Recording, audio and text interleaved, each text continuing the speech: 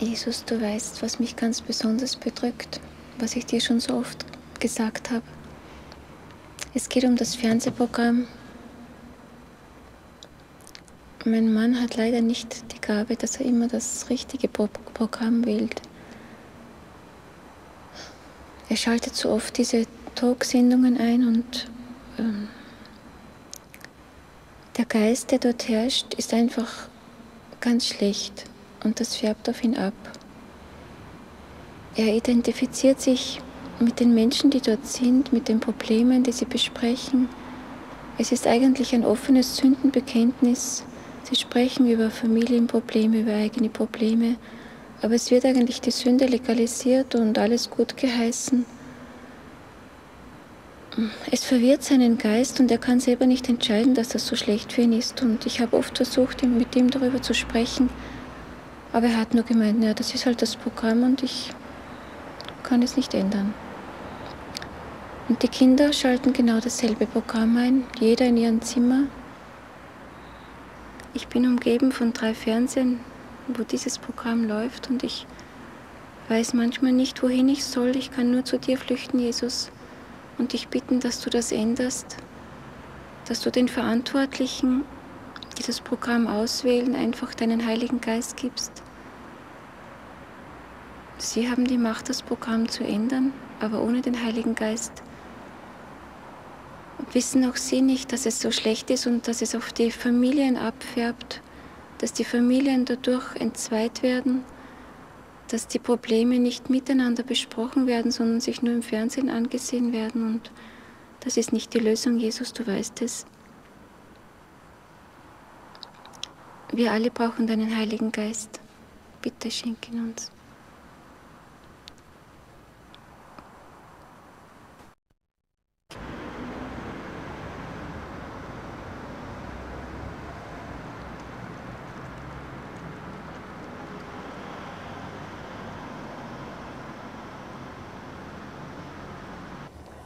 Namen des Vaters und des Sohnes und des Heiligen Geistes. Amen. O Herr, ich bin nicht würdig, dass du eingehst unter mein Dach, aber sprich nur ein Wort, so wird meine Seele gesund. Jesus, ich habe ich hab Böses getan, ich habe meine Rache durchgeführt, ich habe es gemacht, ich habe es gemacht. Ich habe den angerufen. Ich habe ihn sicherlich sehr wehgetan mit meinem Anruf, sicherlich. Das war nicht gut, aber ich konnte nicht widerstehen. Und ich habe der Frau den Bericht geschickt vom Detektiv. Ja, ich habe mich eh gefürchtet. Aber ich glaube, ich habe Erfolg gehabt und ich glaube, das ist jetzt beendet. Das habe ich erreicht, dass die Affäre beendet ist. Nur ich glaube, ich, ich kann ihn nicht mehr zurücknehmen, selbst wenn er wollte. Ich kann nicht mehr weil das steht zwischen uns. Es steht zwischen uns, dass ich Rache genommen habe. Er könnte mir das sicher nie verzeihen. Er hat sowieso Vermutungen und hat mich angesprochen. Jesus und ich habe abgeleugnet, ich habe gelogen. So etwas sollte man nicht tun. Aber ich habe mich nicht getraut. Ich war feig auch noch. Ich habe mich nicht getraut. Jesus, er wird mir nicht verzeihen. Aber vielleicht, vielleicht kannst du mir verzeihen. Aber ich kann es noch nicht bereuen. Ich kann das nicht bereuen, was ich getan habe. Weil ich habe das Gefühl, ich hätte das nicht ausgehalten sonst. Es hat mich abgelenkt von meinem Unglück, dass ich mich gericht habe. Das hat mir wieder Kraft gegeben. Wieso kann aus etwas Bösen etwas Gutes entstehen? Jesus. Warum muss ich immer die Menschen verlieren, auf die ich hoffe und denen ich vertraue? Warum muss ich die immer verlieren, Jesus? Jesus, du, du bleibst mir, du bist treu, aber du bist weit weg.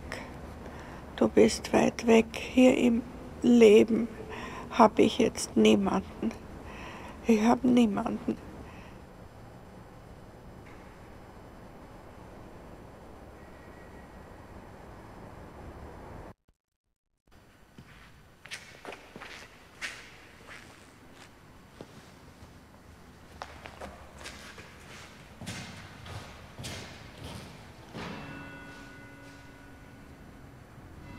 Im Namen des Vaters und des Sohnes und des Heiligen Geistes. Amen. Herr Jesus, du weißt, warum ich jetzt da vor dir bete. Du weißt, was mich jetzt da so zu dir hinzieht. Ich habe in den letzten Tagen, in der letzten Woche, ich habe wieder aufs Gebet vergessen. Du weißt, das passiert mir so oft. Und jetzt habe ich wieder diese, diese Fantasien. Du weißt, diese Fantasien von mir. Ich kann mich schon wieder nicht selbst annehmen. Ich kann mich schon wieder nicht so annehmen, wie du mich haben willst. Ich sehe mich schon wieder als irgendwer, als irgendwer, ja, besserer obwohl ich eigentlich wissen sollte, ich sollte wissen, dass du mich perfekt geschaffen hast. Nur Jesus, mein Herz will das irgendwie nicht akzeptieren. Mein Herz glaubt irgendwie, ich müsste was Besseres sein. Ja, du weißt, ich, wie, wie wie, wie oft ich mich dann sehe, dass ich ja einfach keine Brille habe. Wie ich mich dann sehe, dass ich nicht verkürzt bin, dass ich mich einfach ganz, dass ich eben ganz normal alles, alles machen kann, dass ich mich, dass ich mich sehe als jemand, der total gelenkig ist und als jemand, der auch verschiedene Kunststücke und so machen kann. Und dann habe ich auch, auch jetzt in der Zeit immer wieder so Fantasien. Du weißt, wie gern ich den Karl May habe, Jesus, und dann wie oft ich mich dann als Old Shatterhand jetzt sehe. Ich sehe mich dann wieder wirklich als einfach der Held. Ja, äh, ich sehe mich dann, dass ich eine Pistole oder so in der Hand oder ein ja, Revolver in der Hand habe oder, oder manchmal auch ein Gewehr. Und ja, dass ich dann einfach irgendwie total cool bin und irgendwie total keine Angst habe vor irgendjemandem. Dass ich dann, ja, irgendwie, du weißt, dass dann irgendwie solche Situationen immer sehe, wo dann irgendwo eine Schießerei ist und man sich immer von hinten irgendwo anschleichen muss. Und dass ich dann immer der bin, der das irgendwie der Held ist und der der sich dann in die Gefahr begibt und auch irgendwie den Bösen irgendwie niederschießt. Da weißt du, ich sehe mich auch manchmal als Fußballspieler, dass man das ganze Stadion zujubelt. Ja, ich hätte es gern, ich, ich, ich, und ich gebe es zu, ich, ich wäre gerne mal so. Aber hilf mir, dass ich einfach akzeptiere, dass ich einfach nicht so ein guter Fußballspieler bin, aber dass ich dafür andere Eigenschaften habe. Eigenschaften, die ich in meinen Fantasien nie sehe, Jesus. Ich kann mich irgendwie so schwer annehmen, dass ich Eigenschaften habe. Eigenschaften, die, ich, die gar nicht in meinen Fantasien vorkommen. Ich, ich kann sehr gut mit Kindern umgehen, aber ich sehe das in den Fantasien nie. In meinen Fantasien, da geht es eben um Stärke. Ja, ich will der Held sein, möchte auch, auch, das, auch Mädchen kommen auch manchmal vor, dass der Held halt immer eine Freundin hat, also dass ich als dann immer eine Freundin habe. Und Jesus, es fällt, ich kann einfach nicht auf die Sachen sehen, die wirklich gut sind an mir.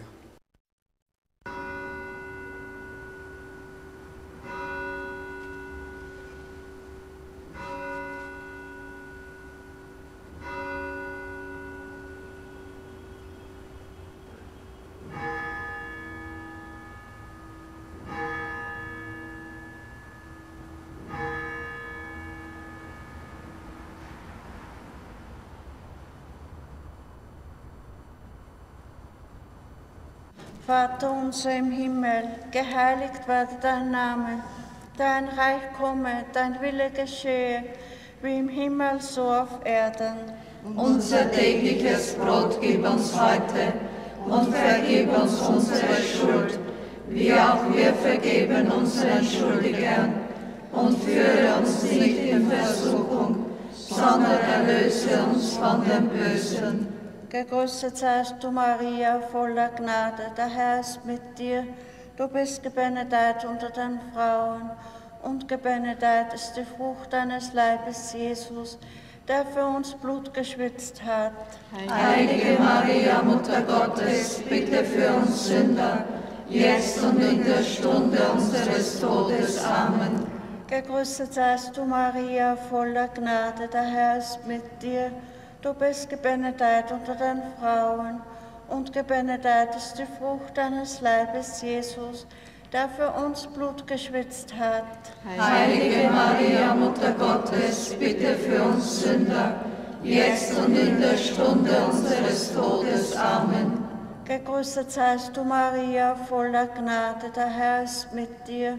Du bist gebenedeit unter den Frauen und gebenedeit ist die Frucht deines Leibes, Jesus, der für uns Blut geschwitzt hat.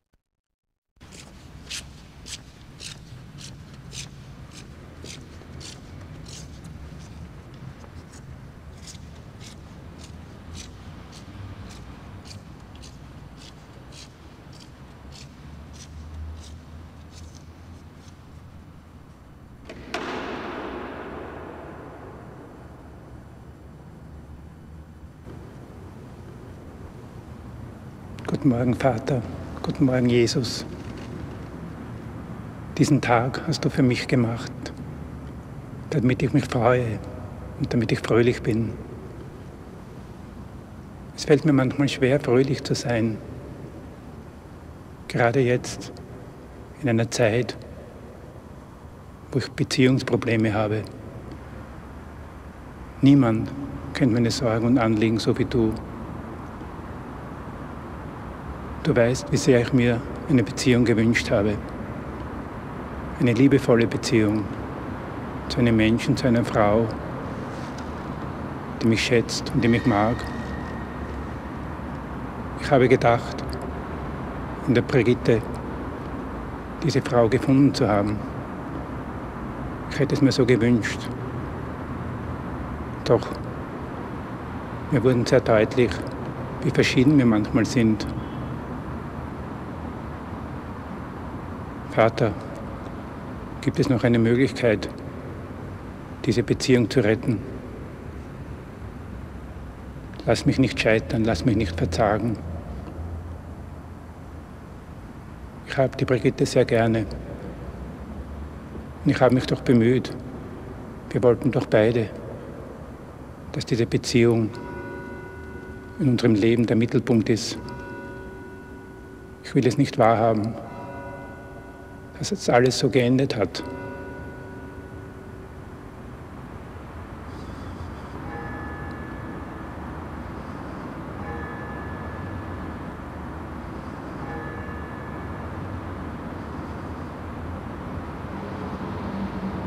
Vater, wenn es noch eine Chance gibt, so lass mich das wissen. Zeige du mir den Weg. wie ich noch einmal beginnen kann, mit dir ein Gespräch zu führen. Lass du mich die richtigen Worte finden. Lass mich zugehen auf sie. Hilf mir, dass sie mich versteht, dass sie meine Worte erhört.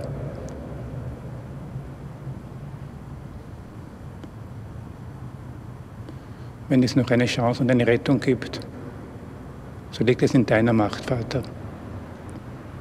Ich bitte dich darum, aber letztlich soll nicht mein Wille, sondern dein Wille geschehen. Amen.